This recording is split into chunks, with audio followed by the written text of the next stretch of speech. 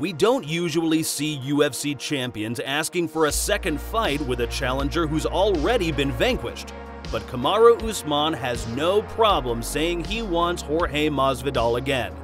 After his win over Gilbert Burns at UFC 258, the current welterweight champion brought up the idea of a rematch with Street Jesus, and it seems to be quickly gaining the public's attention.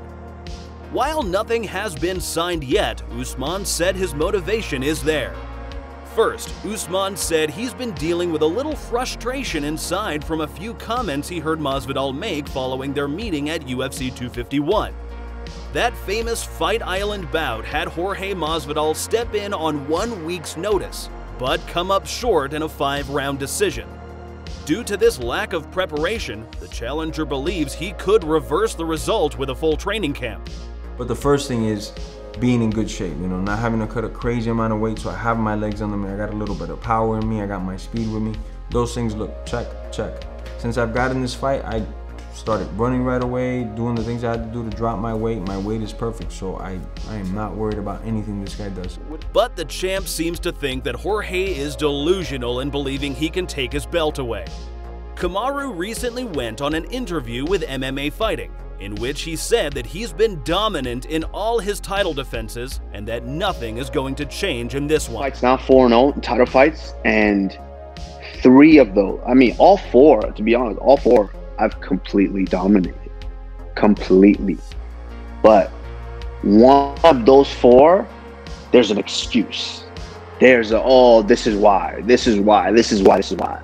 Let's be honest, the hardcore MMA fans, and you and I know that 10 times out of 10 on my worst day, that's what that what's what happened. That's the result that you're gonna get.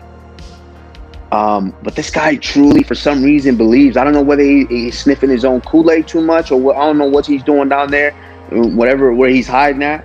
You know that he truly, for some reason, he believes that he has a shot that he can beat me. And what even kind of ticked me off, what what brought this on was after the fight, he's doing his uh, uh, little uh, media um, talk. I think it might have been his post fight and I was walking by, they were taking me into medical, and I'm walking by the room, and it just so happens at the same time when I hear him, I guess the question was asked to him, and I hear him saying, um, with more preparation, I believe that I have what it takes to beat that man. That is not words that I ever want to hear out of an opponent of mine. Never. Kamaru continued responding to the people that criticize him for going to decision on his fights affirming that in this rematch he will intend to break Jorge Masvidal's spirit until the point that he'll never want to face him again. The UFC welterweight champion assures that he is not worried one bit about Masvidal making adjustments for their rematch. You know, that is why, like a lot of people I know they might be mad and say, oh man, you went to the decision, you went to the decision. But guess what? Every one of those guys that I went to the decision with, I guarantee you didn't want to fight me again. There's a reason because I want to break them internally. I want to break their soul. What do you think about Masvidal having more time to train for his rematch with Usman? Is this something the champ should be worried about? Let us know in the comments section what you think. Thank you for watching our video. Don't forget to smash that like button on your way out. Also subscribe for more MMA news.